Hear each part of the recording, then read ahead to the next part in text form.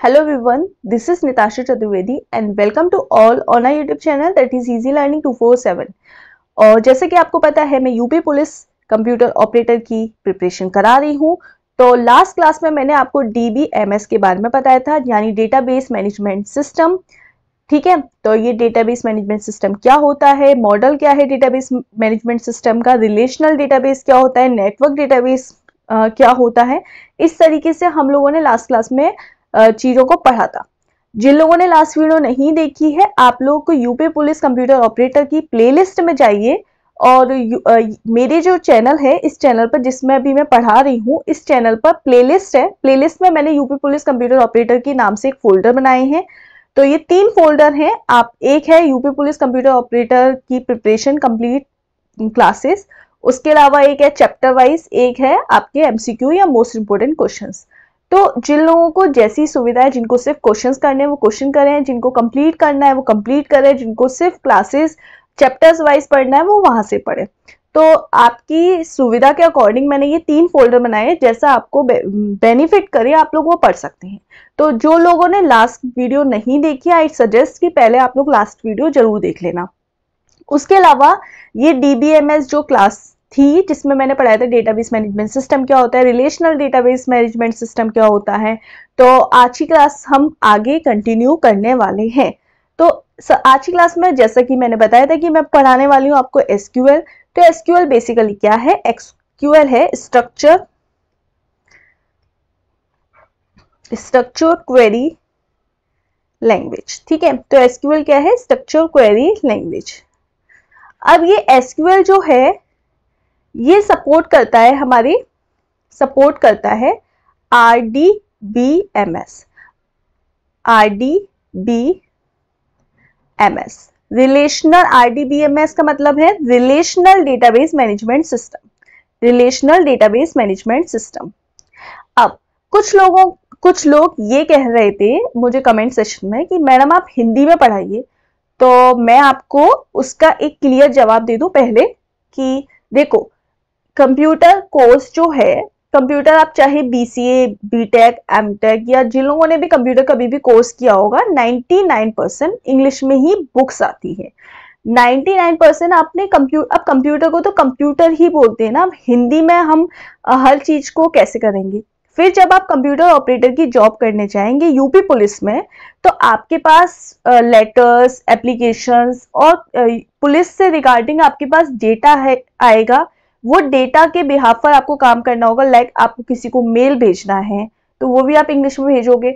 आपको आ, कोई भी फ़ाइल है उसको ट्रांसलेट करके अपनी लैंग्वेज में भेजना है। आपको कोई सपोज़ इंग्लिश में ऑर्डर आता है और आपको वेरीफाई करना है तो वो भी आप कमांड वगैरह इंग्लिश में ही करोगे। तो एटलीस्ट इतनी बेसिक इंग्लिश तो यूपी पुलिस भी कोई भी गवर्नमेंट एग्ज़ाम आजकल माँगता है। आपको बोलना आए नहीं आए लेकिन आपको एटलीस्ट इतनी इंग्लिश तो आनी ही चाहिए अगर आप जॉब करने जा रहे हैं। क्यों मेरी इस बात को याद रखना, बोलना कम्युनिकेशन करना डजेंट मीन कि कम्युनिकेशन करना ही इंग्लिश होती है। हम चीज़ों को समझ पाए लाइक डेटाबेस मैनेजमेंट सिस्टम है। अब मैं इसको हिंदी में कैसे ट्रांसलेट करूँ?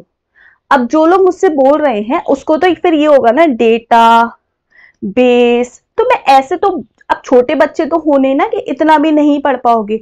और सॉरी फॉर डेट अगर आपको ये भी चीज़ें नहीं समझ में आती हैं तो प्लीज़ आप कोई और चैनल देख लीजिए। मैंने आपको बाउंड नहीं किया है कि आप इसी चैनल से पढ़ाई करें। और ये एक ईगो और एरोगेंस वाली बात नहीं है, क्योंकि मैं ऐसे नहीं पढ़ा पाऊँगी, ना ही मैंने पढ़ा और ना ही मैं ऐसे पढ़ा पाती हूँ।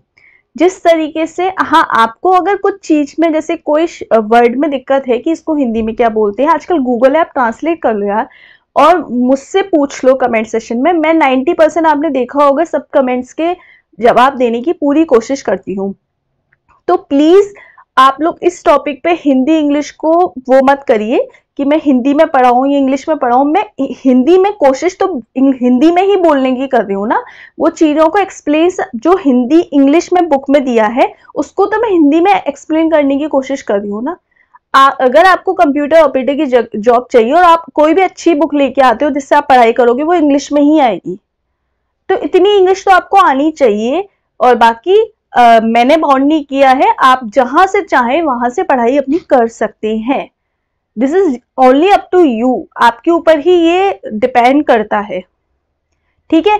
तो प्लीज़ जो लोग सपोर्ट कर रहे हैं, वो सपोर्ट करिए और जो लोग बार बार एक ही कमेंट कर रहे हैं, हिंदी में पढ़ाइए या हिंदी में बोलिए तो मैं हिंदी में ही बोल रही हूँ।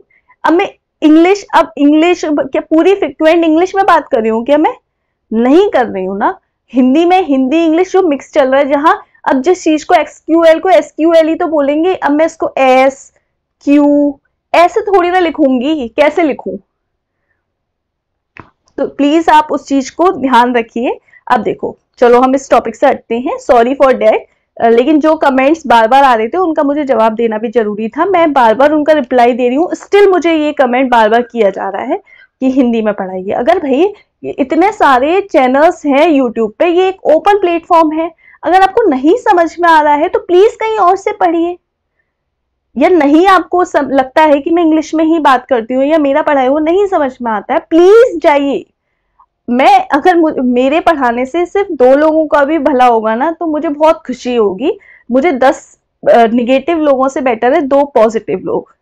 हाँ अगर मेरे पढ़ाने में सारे ही लोग बोले अगर दस कमेंट आ रहे हो दस के दस ही निगेटिव आए या आठ निगेटिव आए तो मुझे लगता है कि हाँ मुझे अपने पढ़ाने का तरीका चेंज करना चाहिए।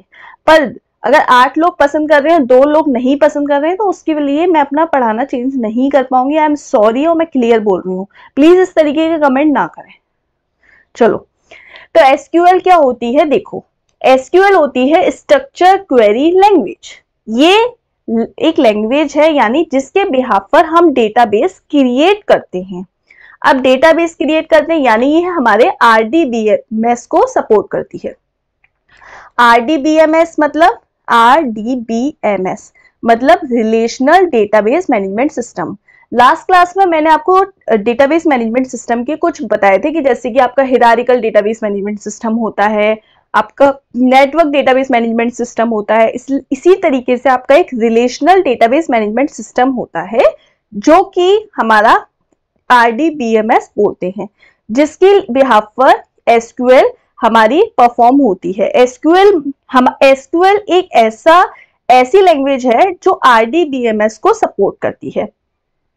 मतलब इसका मतलब है कि आरडीबीएमएस मतलब जो डेटाबेस को स्टोर करे। इसका मतलब जो एसक्यूएल में जो क्वेरी है एसक्यूएल क्या है? स्ट्रक्चर क्वेरी लैंग्वेज तो जो क्वेरीज है क्वेरीज मतलब कमांड क्वेरी का मतलब कमांड से है। तो एसक्यूएल की जो कमांड है, वो डेटा को स्टोर करती है टेबल की फॉर्म में। इसका कहने का मतलब ये है कि जो एसक्यूएल बेसिकली आप एक बार और इन शॉर्ट देखो। एसक्यूएल होता है structure query language SQL RDBMS को सपोर्ट करता है। पेपर में क्वेश्चन कैसे आ सकता है पेपर में क्वेश्चन आ सकता है कि SQL support RDBMS network network DBMS मतलब relational database management system network database management system hierarchical database management system etcetera तो आपको वहाँ पे टिक करना है रिलेशनल डेटाबेस मैनेजमेंट सिस्टम यानी आरडीबीएमएस क्लियर अब, ये क्या है? स्ट्रक्चर एसक्यूएल की फुल फॉर्म पूछ सकता है। एसक्यूएल की फुल फॉर्म है स्ट्रक्चर क्वेरी लैंग्वेज अब, ये आरडीबीएमएस क्या होता है? आरडीबीएमएस मतलब टेबल जहाँ पर हमारा डेटा टेबल की फॉर्म में स्टोर होता है। टेबल की फॉर्म टेबल मतलब जहाँ पर रोज होती है और कॉलम्स होते हैं। क्लियर इसका मतलब जो एसक्यूएल है, वो डेटा को, हमारे डेटा, एसक्यूएल की जो क्वेरी है, वो डेटा को हमारा कैसे स्टोर करती है? टेबल की फॉर्म में। टेबल की फॉर्म में। और जो रिलेशनल होता है, जो रिलेशन होता है बेसिकली जो रिलेशनल, रिलेशन होता है तो रिलेशन का मतलब होता है टेबल। अगर आपसे पूछे, इस आरडीबीएमएस में इसमें आर का मतलब है रिलेशनल रिलेशनल रिलेशनल तो ये रिलेशनल कहाँ से आए रिलेशन से और इस रिलेशन का क्या मतलब है? टेबल क्लियर अब टेबल का क्या मतलब है? जिसमें रो हो और कॉलम हो। ठीक है? अब ये बात समझ में आई? अब सपोज़ ये एक ये एक टेबल है जिसमें कि रोल नंबर है आ, किसी का नेम है फादर नेम है एड्रेस है ये सपोज़ किसी का टेबल है। अब रोल नंबर वन टू है नेम है राम, रिया फादर्स नेम है फादर नेम कुछ भी मान लो सपोज़ जी सी ऐसे कुछ भी एग्जैक्ट्रा मान लिया। एड्रेस में मैंने इसका दहली दे दिया, इसका आगरा दे दिया, कुछ भी मान लो अभी। ठीक है? अब यहाँ पे आपको ये पता होना चाहिए कि देखो, ये क्या है हमारी रोज, क्या है रोज? तो बेसिकली आपको समझना है जो हॉरिजेंटल लाइन होती है हॉरिजेंटल सेट जो होता है सेट ऑफ़ इंफॉर्मेशन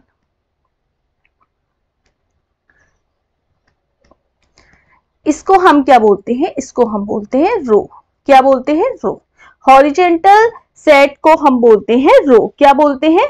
रो और वर्टिकल वर्टिकल सेट जो होता है, इसको बोलते हैं हम, इसको बोलते हैं हम वर्टिकल सेट ऑफ़ इंफॉर्मेशन होता है, इसको हम बोलते हैं कॉलम इतना समझ में आया? हॉरिजेंटल को हम बोलते हैं रो और वर्टिकल को बोलते हैं कॉलम। इतना तो समझे हॉरिजेंटल मतलब वाली लाइन, वर्टिकल मतलब ये वाली लाइन। समझ में आई कि हमारी जो हॉरिजेंटल लाइन है, ये वाली, ये हॉरिजेंटल लाइन होती है, इसको रो बोलते हैं और जो वर्टिकल लाइन होती है, इसको कॉलम बोलते हैं। मैं इतना इसीलिए समझा रही हूँ कि बहुत सारे लोगों को कंफ्यूजन भी था लास्ट क्लास में। तो रो मतलब देखो आर से याद करना, रो मतलब रिकॉर्ड रो मतलब रिकॉर्ड आर से रो और आर से रिकॉर्ड और कॉलम मतलब फ़ील्ड कॉलम मतलब फ़ील्ड। तो याद रखना कि जो रो होती है, यानी ये वाली लाइन, इसको हम बोलते हैं रिकॉर्ड और कॉलम को बोलते हैं फ़ील्ड तो अगर आपसे बोला जाएगा कि रिकॉर्ड कौन से हैं यहाँ पे? रिकॉर्ड है हमारी वन ये ये वाले रिकॉर्ड है और ये वाली हमारी क्या है? वर्टिकल वाली, जो हमारी वर्टिकल वाली लाइंस है, ये हमारी फ़ील्ड होती है। तो रो को रिकॉर्ड और फ़ील्ड किसको बोलते हैं? कॉलम को। क्लियर अब यहाँ पे एट्रीब्यूट क्या चीज़ होती है अब? एट्रीब्यूट तो एट्रीब्यूट होते हैं, जैसे ये जो हेडिंग्स वाले नेम है ना हमारे, जो कॉलम्स के जो नेम होते हैं, जैसे कि इसमें roll number name father's name तो ये हमारे क्या है? एट्रीब्यूट्स अब आपसे कोई पूछे, ये आप लिख लो, लिखोगे तो आपको याद है, ज़्यादा अच्छे से क्लियर अब दो शब्द आते हैं, एक आती है कार्डिनेलिटी कार्डिनेलिटी। तो कार्डिनलिटी मतलब होता है नंबर ऑफ़ रोस और एक टर्म आता है डिग्री क्या आता है? डिग्री तो डिग्री मतलब होता है नंबर ऑफ़ कॉलम कॉलम मतलब हम बोल सकते हैं एट्रीब्यूट भी बोल सकते हैं। एट्रीब्यूट फ़ील्ड एक ही बात है। अब देखो नंबर ऑफ़ रोज कितनी है इसमें? नंबर ऑफ़ रोज कितनी है? नंबर ऑफ़ रोज है, हमारी यहाँ पे दो। तो देखो, एक ये है वन वाली वन नंबर की और एक ये है। हम ये हेडिंग वाली को नहीं लेते हैं, हम ये लेंगे। एक और दो। तो नंबर ऑफ़ रोज कितनी है? दो। तो यहाँ पे कोई पूछे इस क्वेश्चन में सपोज़ एक टेबल बनी हुई है पेपर में, उसमें पूछा कि इसकी कार्डिनलिटी बताओ। तो कार्डिनलिटी मतलब दो, तीन, चार, पाँच ऐसे ऑप्शन में दे रहा होगा। आपको सही टिक करना है। तो कार्डिनलिटी मतलब आप याद रखना नंबर ऑफ़ रोज तो कितनी रोज है यहाँ पे? दो। तो आप आंसर टिक कर दोगे टू पर। अगर आपसे पूछे कि डिग्री कितनी है, इस टेबल की कोई भी एक टेबल दे दी जाएगी, बना के उसमें पूछा जाएगा डिग्री कितनी है तो डिग्री याद रखना एक, देखो दो, तीन और ये चार तो डिग्री कितनी हो गई? चार। तो याद रखोगे? ये मैंने एक ओवरव्यू दिया कि एसक्यूएल स्ट्रक्चर क्वेरी लैंग्वेज ये हमारे आरडीबीएमएस को सपोर्ट करती है। आरडीबीएमएस का मतलब होता है रिलेशनल डेटाबेस मैनेजमेंट सिस्टम यहाँ पे रिलेशन का मतलब टेबल से होती है, यानी जो एसक्यूएल में जो क्वेरी होती है एसक्यूएल में जो डेटा होता है, वो हमारे डेटा को टेबल की फॉर्म में स्टोर करता है। टेबल्स में टेबल में रो और कॉलम होते हैं, जो रो होती है, इसको रिकॉर्ड बोलते हैं, जो जो कॉलम होते हैं, उसको हम बोलते हैं फ़ील्ड एट्रीब्यूट एट्रीब्यूट कोई पूछे तो जो हमारी हेडिंग्स है, वो हमारे एट्रीब्यूट कहलाते हैं।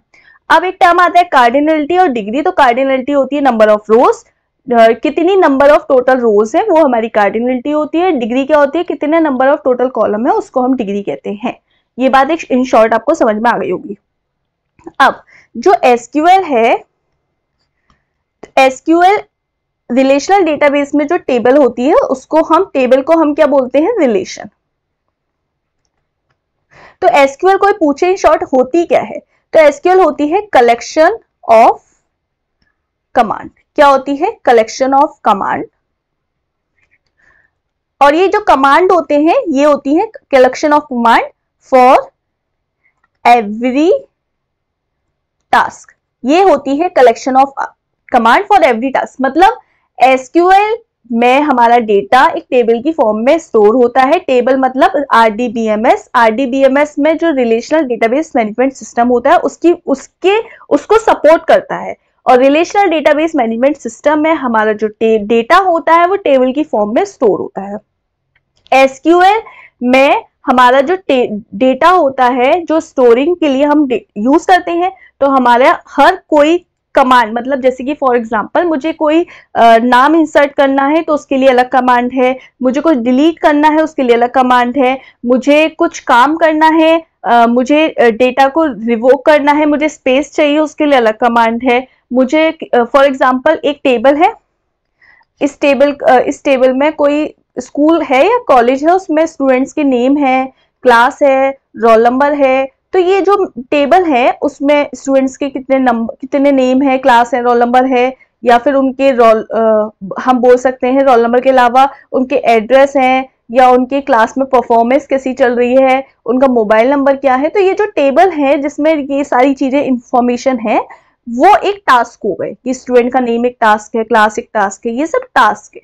तो इसको स्टोर करना, इसका स्ट्रक्चर तैयार करना और उसके अलावा इसके अंदर की एंटिटीज को फिल करना, उसको कंट्रोल करना तो ये एसक्यूएल के टास्क होते हैं कमांड एसक्यूएल में हमारी कलेक्शन ऑफ़ कमांड होती है फॉर एवरी टास्क हर टास्क के लिए कमांड दी गई है। अब ये जो कमांड है बेसिकली ये तीन भागों में डिवाइड की गई है, एक, दो और तीन। पहला है डीडीएल डीडीएल का मतलब होता है डेटा डेफिनेशन लैंग्वेज ठीक है? दूसरा है डी एम एल इसका मतलब होता है डेटा मैन्युपुलेशन मैनिपुलेशन लैंग्वेज ठीक है? तीसरा होता है डी सी एल या इसको हम टी सी एल भी बोलते हैं। तो इसका मतलब होता है डेटा कंट्रोल लैंग्वेज या ट्रांजेक्शन कंट्रोल लैंग्वेज तो अगर डी आ जाए तो डेटा टी आ जाए तो ट्रांजेक्शन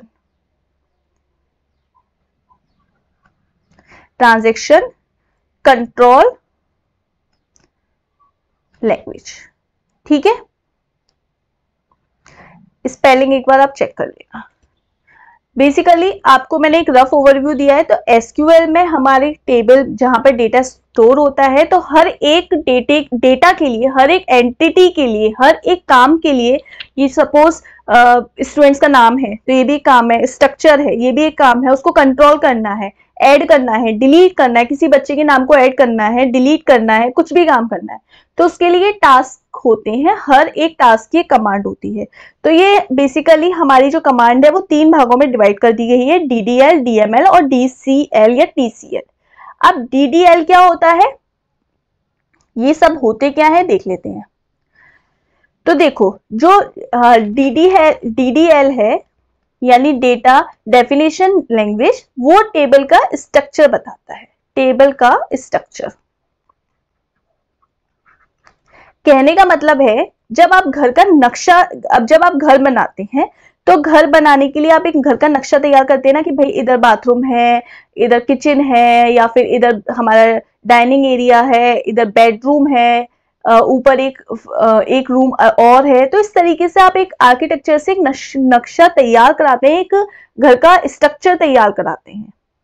ठीक है? तो जैसे आप घर बनवाने के लिए एक मैप बनवाते हैं, नक्शा बनवाते हैं सिमिलरली जब हम डेटा को स्टोर करते हैं तो डेटा का एक स्ट्रक्चर होता है कि इस जगह हमारा रोल नंबर आएगा, इस जगह हमारी क्लास आएगी, इस जगह बच्चे का फॉर एग्ज़ाम्पल एक स्कूल का भी रिकॉर्ड है तो स्कूल के रिकॉर्ड के लिए इधर मोबाइल नंबर आएगा, इधर परसेंटेज आएगी। रिपोर्ट कार्ड भी एक स्ट्रक्चर है बच्चे का कि किसी की फ़र्स्ट डिवीज़न है सेकंड डिवीज़न है, या फिर किसी की क्लास में फ़र्स्ट रैंक है तो उसका एक स्ट्रक्चर जो तैयार हो रहा है, उस स्ट्रक्चर को टेबल का जो स्ट्रक्चर होता है, वो स्ट्रक्चर यानी ढांचा जो तैयार होता है, वो by the help of DDL होता है। तो जो भी स्ट्रक्चर से रिलेटेड कमांड्स होंगी, वो हमारी डीडीएल की कमांड होंगी। अब कमांड्स क्या होंगी, वो भी हम इन फर्दर डिस्कस करेंगे। अभी आप ये याद रखो जैसे घर बनवाते हो तो घर बनवाने के लिए तो है नहीं है कि डायरेक्ट ईटों से, ईट, पत्थर और सीमेंट से जस्ट घर बनवाने लग गए, एक के ऊपर एक बस बनाना लग गए तो ऐसा तो नहीं है ना? सबसे पहले आप उसको एक मैप देते हो, एक उसका रफली एक स्ट्रक्चर तैयार करते हो, फिर उसका एक परमानेंट स्ट्रक्चर तैयार करते हो, एक ढांचा, एक मैप तैयार करते हो कि इधर बाथरूम देना है, इधर लॉबी देनी है, इधर बेडरूम देना है, इधर किचन देना है, ऐसे। तो सिमिलरली हम कोई टेबल तैयार कर रहे हैं तो हमारा कोई भी डेटा है, उसकी जो टेबल का स्ट्रक्चर है, वो by the help of DDL से होता है। अब डीएमएल क्या होता है? डीएमएल क्या होता है कि कहाँ हमें ऐड करना है, कहाँ सब्ट्रैक्ट करना है, कहाँ मैनुपुलेट करना है डेटा को। जैसे कि यहाँ पर, ये हमारी सपोज़ टेबल इस तरीके से तैयार हो गई। ये क्लास है, ये रोल नंबर है, ये एड्रेस है और ये मोबाइल नंबर है। ठीक है? अब, ये नेम है। सपोज़। अब ये हमारे हमारे एक स्ट्रक्चर तैयार हो गया? अब स्ट्रक्चर के अंदर कि इधर सपोज़ एक बच्चा है राम, उसकी क्लास वन है, इधर रोल नंबर है, उसका रोल नंबर वन है एड्रेस उसका कुछ भी हो सकता है मोबाइल कुछ भी हो सकता है। अब एक बच्चा और है, ऐसे ही उसका भी सपोज़ उसका नाम रीता है या सिया कुछ भी है क्लास वन है, इस तरीके से। अब सपोज़ मुझे इस रीता को डिलीट करना है या एक नए बच्चे को एडिशन करना है इसका एड्रेस चेंज करना है तो ये सारे जो काम होते हैं वो डीएमएल के अंदर होते हैं। कि ऐड करना सब्ट्रैक्ट करना एक बच्चे को रिमूव करना क्लास स्कूल छोड़ के चला गया तो उसे रिमूव करना या ये जो टेबल के अंदर ये सिर्फ़ एक स्कूल का एग्ज़ाम्पल है कॉलेज का एग्ज़ाम्पल हो सकता है। आपके रियल लाइफ कंपनीज़ में होता है कि आ, क्या मार्केटिंग के अंदर क्या अभी फॉर एग्ज़ाम्पल एक कंपनी की कंपनी है तो अभी अभी ट्रेंडिंग में क्या है? वो वो बना रही है। कस्टमर्स ने खरीदना बंद कर दिया या कस्टमर शेयर्स डाउन हो गए उसके, लोगों को पसंद अब नहीं आ रहा तो फिर एक नया कुछ माल लेके आना, नया कुछ कपड़े लेके आना, नई कुछ डिज़ाइन लेके आना और पुराने वाले को रिमूव करना तो ये सब डीएमएल के थ्रू होता है। कंपनीज़ सारी जितनी भी बड़ी बड़ी कंपनीज़ सब एक डेटाबेस तैयार करके रखते हैं, जिसके बिहार पर डीडीएल डीएमएल और डीसीएल या फिर हम बोल सकते हैं टीसीएल तो डी डीसीएल और टीसीएल एक ही बात है डेटा कंट्रोल लैंग्वेज या ट्रांजेक्शन कंट्रोल लैंग्वेज इसके बिहार पे हमारे डेटा की पूरी कंट्रोलिंग होती है। पूरा जो डेटा हमारी पूरी जो टेबल कंट्रोल होती है वो होती है डीसीएल फॉर एग्ज़ाम्पल अगर मुझे किसी पूरे के पूरे डेटा को डिलीट करना है एक बार में, एक एंटिटी को नहीं, पूरे के पूरे डेटा को रिमूव करना है तो मैं डीसीएल के थ्रू करूँगी। पूरे डेटा बेस को ही रिमूव कर देना है तो डीसीएल की मतलब पूरे डेटा की कंट्रोल करना पूरे डेटा की कंट्रोलिंग करना, दो टेबल्स को ज्वाइन करना, या ये सारे काम हम डीसीएल या टीसीएल के बिहाफ करते हैं डेटा कंट्रोल लैंग्वेज या ट्रांजेक्शन कंट्रोल लैंग्वेज अब ये एक मैंने आपको ओवरव्यू दे दिया है। अब सबसे पहला काम ये करना है, जिसको भी एसक्यूएल सीखनी है, आपको एसक्यूएल अपने लैपटॉप, अपने कंप्यूटर, जो भी आपके पास सिस्टम है, डिवाइस, उसमें आपको डाउनलोड करनी पड़ेगी। अब डाउनलोड कैसे करनी पड़ेगी, वो मैं आपको बता दे रही हूँ। आप अपने कोई भी ब्राउज़र पे जाइएगा, गूगल को, मोजिला, इंटरनेट एक्सप्लोजर, कोई भी। लैपटॉप में आपके पे ब्राउज़र है, वहाँ जाएँगे। आप सर्च करेंगे माई एसक्यूएल माई एसक्यूएल पे जाने के बाद आप यहाँ पे डाउनलोड्स माई एसक्यूएल कम्युनिटी पे क्लिक कर देंगे। सिंपल अब यहाँ पर ये यह आ गया। अब आप यहाँ से माई एसक्यूएल को डाउनलोड कर सकते हैं। अपना ये देख लेना कि आपका 32 बिट है 64 बिट है तो आप यहाँ पे सिंपल डाउनलोड करेंगे। अब देखो आप जब जैसे ही डाउनलोड करेंगे तो आपके पास यहाँ पर ये आ जाएगा no thanks just start my downloads log in और साइन अप करवाएगा बट आपको सिंपल ये कर देना है। अब जैसे ही आप डाउनलोड करेंगे तो ये आपके पास इस तरीके से इंस्टॉल हो जाएगा।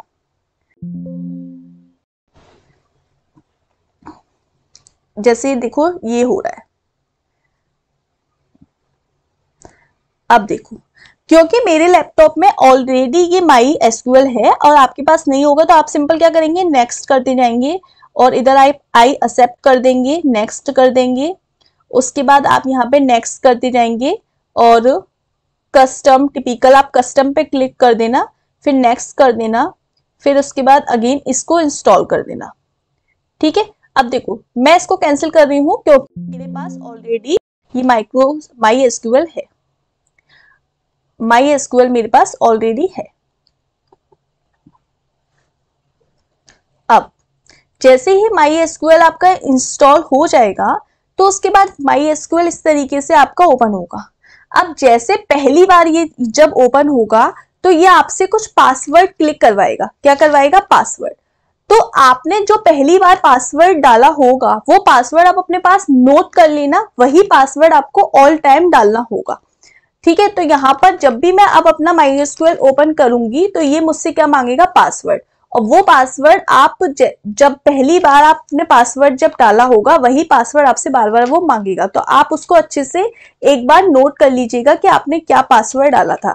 मैं आज तक भूल जाती हूँ कि मैंने क्या पासवर्ड डाला था, क्योंकि माई स्क्यूल पर काम में डेली करती नहीं हूँ। मैं आज तक भूल जाती हूँ कि ऑलरेडी इतनी सारी चीज़ों के पासवर्ड्स होते हैं कि हमें याद भी नहीं रहता। तो मैं क्या करती हूँ उसको एक जगह नोट कर देती हूँ। तो अब सपोज़ मैंने अपना पासवर्ड डाला। आपने जो पासवर्ड अपना क्लिक किया होगा वो पासवर्ड आपसे दिखा रहा होगा। अब यहाँ पे आ, आ जाएगी हमारी कमांड लाइन ये आ रहा है माई एसक्यूएल अब माई एसक्यूएल इस तरीके का प्लेटफॉर्म है। यहाँ पर आप अपने टेबल को क्रिएट करते हो डेटा को इंसर्ट करते हो सपोज़ आपने अपना पासवर्ड डाला अब इस तरीके से कमांड गई। अब मैं अपने लैपटॉप में ये चेक करती हूँ कि मेरे पास ऑलरेडी कितने तरीके के डेटाबेस हैं। तो एक कमांड आती है, उस कमांड का नाम है शो डेटा बेसिस डेटाबेस होता है ना तो बस बी ए एस ई और एस लगा दिया। उसके बाद सेमी कॉलन सेमी कॉलन लगाने के बाद जैसे ही मैं एंटर करूँगी तो मेरे पास आ गया ये। यानी मेरे कंप्यूटर लैपटॉप में, मेरे सिस्टम में ऑलरेडी इतने सारे डेटाबेस हैं। अब मुझे इसमें से किसी को भी यूज़ करना है तो मैं लिखूँगी यूज़ सपोज़ मैंने कोई भी डेटाबेस यूज़ किया क्लास नाम का डेटाबेस यूज़ कर दिया। तो मैं उसको लिए कमांड यूज़ करती हूँ use class semicolon again हर एक कमांड के बाद सेमीकोलन लगेगा। देन एंटर डेटाबेस चेंज हो गया। अब इस डेटाबेस के अंदर कितनी टेबल्स है? तो उसके लिए कमांड होती है शो टेबल्स अब मैंने देख लिया सपोज़ मेरे पास ये इतनी सारी टेबल्स हैं मेरे डेटाबेस पर। तो मैं इसमें से कोई भी डेटा मुझे कोई भी सपोज़ कोई भी टेबल को ओपन करना है तो मैं उस टेबल को ओपन कर सकती हूँ। तो शो तो उसके लिए मैं कमांड होता है डीई एस सी और स्कूल देखो, ये मेरी ऑलरेडी टेबल्स ओपन है। सपोज़ मुझे कोई और ओपन करना है तो एक और कमांड होता है D E S C student देखो ऑलरेडी एक टेबल्स आ रही है मेरे पास। तो आप, अब आपको बात समझ में आ रही होगी किस तरीके से। अभी हम इसके, ये कमांड्स कैसे होती हैं, किस तरीके से इसको नोट करते हैं, कैसे एसक्यूएल बनाते हैं, ये भी मैं कल की क्लास में नेक्स्ट क्लास में डिस्कस करूँगी। लेकिन अभी आपको क्या करना है, इसका रिवीजन करना है। और एटलीस्ट अपने सिस्टम में या अपने कंप्यूटर में एसक्यूएल को डाउनलोड कर लेना डाउनलोड हो जाए तो मुझे कमेंट सेक्शन में बता देना कि हमारा डाउनलोड हो गया है। कोई भी दिक्कत आ रही है अगेन वीडियो को देख लेना। माई एसक्यूएल पे गूगल पर माई एसक्यूएल डायरेक्ट सर्च करो। uh, उसको बिना लॉगिन और पासवर्ड के डायरेक्ट उसको डाउनलोड कर लो। डाउनलोड करने के बाद उसमें एक पासवर्ड का ऑप्शन आएगा जिसमें आप उसके कमांड सबसे पहले पासवर्ड को क्रिएट करोगे। ठीक है? उसके बाद फिर दोबारा से अपने सिस्टम को ऑफ़ कर देना। जब दोबारा से वो ऑन करोगे तो जो पासवर्ड आपने डाला था, वही पासवर्ड आपसे अगेन मांगेगा हर बार, जितनी बार आप माई एसक्यूएल को ओपन करोगे। ठीक है तो उस पासवर्ड को लिख लेना। उसके बाद बस इतना करके देखो। फिर हम नेक्स्ट क्लास में इसकी सारी क्वेरी सारी कमांड कंप्लीट करेंगे और एक ही क्लास में मैं एसक्यूएल की सारी कमांड्स फिनिश करा दूँगी। ये पेपर में इस तरीके से नहीं आएगा। एसक्यूएल टाइप करने को नहीं आएगी। बस मैं ये इसीलिए सिखा रही हूँ कि आपको प्रैक्टिकली जब चीज़ों को देखते हैं तो ज़्यादा अच्छे से क्लियर होता है। ठीक है? पेपर में आपको जब एमसीक्यू आएगा, आपको ये पता होगा कि एसक्यूएल को ओपन करने की टेबल्स को ओपन करने की कमांड क्या होती है। तो आपको पता होगा शो टेबल्स अगर मुझे डेटाबेस को ओपन करना है तो डेटाबेस को ओपन करने की कमांड क्या होती है? अभी मैंने ओपन किया, देखो। डेटाबेस को मैंने किस कमांड से ओपन किया? शो डेटाबेसेस तो ये जो कमांड्स होती हैं, ये कमांड्स एग्ज़ाम में आएँगी और ये कमांड्स आपको तब याद हो पाएँगी जब आपने प्रैक्टिकली चीज़ों को करा होगा. अदरवाइज़ मैं तो डायरेक्ट भी पढ़ाने वाली हूँ क्वेश्चन तो डायरेक्ट ही कराऊँगी. तो इसी वजह से मैंने सोचा कि कम टाइम में आपको जो मेन मेन चीज़ें हैं, वो करा पाऊँ प्रैक्टिकली भी. अगर आपको और कुछ चाहिए और आप चाहते हैं कि नहीं मैम, आप डायरेक्ट बस जल्दी जल्दी पढ़ा दो थ्योरी पढ़ा दो, ये सब मत कराओ. तो मैं वैसे भी पढ़ा दूँगी। मैक्सिमम लोगों के जैसे वोट्स आएँगे, मैं वैसा ही पढ़ाऊँगी। तो आप अपनी कोई भी क्वेरी हो, कोई भी दिक्कत है कमेंट सेशन में बताइए। आज आपका काम क्या है कि इसको रिवीजन करिए अच्छे से, क्योंकि डेटाबेस के मैं, आप प्रीवियस ईयर पेपर निकाल के देखिए, आज मैंने निकाल के देखे थे सारे पेपर्स 2013 में पेपर हुआ था 2016 में हुआ था 17 में हुआ था 18 में हुआ था। और ये जो पेपर्स थे, इन सब में जो डेटाबेस के क्वेश्चंस थे, जैसे कि एग्जांपल एक क्वेश्चन तो यही वाला था। कि हमारे हमें डेटाबेस को ओपन करना होता है तो डेटाबेस को ओपन करने की कमांड क्या होती? तो क्वेश्चन इस तरीके से ड्रॉ हुआ था, आपको मैं इस पर करके दिखा दूँ, देखो। कि डेटाबेस था तो डेटाबेस को how open command of database तो डेटाबेस को ओपन करने की कमांड थी, उसमें ऑप्शंस थे तो ऐसे था show database show database और इस तरीके से था। दूसरा था ओपन डेटा बेस और ऐसे था। उसके अलावा था ओपन डेटा बेसिस और इस तरीके से था। उसके अलावा था शो डेटा बेसिस और इस तरीके से था। तो राइट आंसर इसी टाइप के कुछ ऑप्शंस थे तो देखो, सब एक जैसे लग रहे हैं और आपको क्या डेटा को ओपन डेटाबेस को ओपन करने के लिए आप लोग जाते ये या ये लगाएँगे। लेकिन एक्चुअल में कमांड थी शो डेटाबेसिस तो ये आपको कैसे पता चली? ये आपको ऐसे पता चली कि अभी देखो मैंने आपको प्रैक्टिकली इसी से ओपन करके दिखाया शो डेटाबेसिस तो ऐसे आपको चीज़ें क्लियर होंगी। आपको पता है कि हमने एक बार, जब एक बार खुद से करके देख लोगे ना तो मैं गारंटी से बोल रही एग्ज़ाम टाइम पे चीज़ों को नहीं भूलोगे। ठीक है? और बाकी जितनी चीज़ें, क्योंकि याद करने को इतना कुछ होता है कि हम ऑलरेडी बहुत कुछ याद करते ही रहते हैं और करना ही भी पड़ेगा। तो एटलीस्ट जो चीज़ें समझ के दिमाग में स्टोर करने की है, वो समझ के करो, वो ज़्यादा बेटर है। बाकी आपकी जो भी क्वेरी है कमेंट सेशन में पूछो, मैं मैक्सिमम लोगों के कमेंट की रिप्लाई भी देती हूँ। और, हम लोग नेक्स्ट क्लास में मिलते हैं, तब तक के लिए goodbye and have a nice day और आप लोग पढ़ते रहिए। और जो लोग प्लीज़ चैनल पर नए हैं सब्सक्राइब करिए। आप ज़्यादा से ज़्यादा सपोर्ट करेंगे तो मैं ज़्यादा से ज़्यादा आपके लिए ऐसी ही मेहनत कर पाऊँगी। तो बस आपसे इतनी ही रिक्वेस्ट है कि आप सब्सक्राइब करें लाइक करें। तो आप जितना आप, मुझे अच्छा लग, मुझे ये लगेगा ना कि मैं सही डायरेक्शन में मेहनत कर रही हूँ और आप लोग इंटरेस्ट ले रहे हैं। तो ये मुझे बस इसी तरीके से पता चलेगा जब ज़्यादा से ज़्यादा व्यूज़ आएँगे लाइक आएँगे और सब्सक्राइब आएँगे। तो मुझे इससे अच्छा लगेगा कि हाँ आप लोग इंटरेस्ट ले रहे हैं और मैं आपके लिए मेहनत और करूँ, और ज़्यादा अच्छा चीज़ें लेके आऊँ। बस इतना ही चाहिए और जो लोग प्यार दे रहे हैं उनके लिए थैंक यू वेरी मच हम लोग नेक्स्ट क्लास में मिलते मिलते हैं। तब तक के लिए goodbye and have a nice day